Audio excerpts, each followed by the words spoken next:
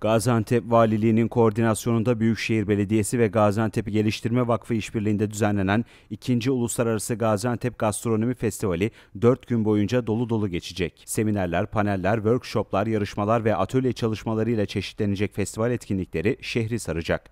Festivalin yoğun temposuna katılan ziyaretçiler günün yorgunluğunu Yavuz Bingöl ve Edis gibi tanınmış ses sanatçılarının konserleriyle üzerinden atacak. Büyükşehir Belediye Başkanı Fatma Şahin'in Güneş, Toprak ve Kalp kalpten gelen lezzet olarak tanımladığı Gastro Antep Festivali kente keyifli anlar vaat ediyor.